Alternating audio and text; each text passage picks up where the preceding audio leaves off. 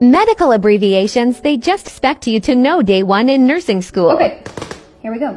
This means complains of. This means history of. This itself means history, past medical history. Everybody knows what that means. Prescription this means fracture, means contraction. That's a labor term. TX is treatment. How could I forget? SX is symptom. If you see S slash S, that's signs and symptoms. Twice a day, three times a day, four times a day. Q means every, so every two hours. This could interchange and have any number there, so Q three hours, Q four hours, left lower quadrant, right upper quadrant, right lower quadrant. Vital sign stable within normal limits. Everyone pronounces it as cabbage coronary artery bypass graft. You'll see this one in pharmacology. This means drops per minute. Glucose tolerance test. This one you'll see in maternity. Nausea, vomiting, diarrhea. Literally forgot the most common one.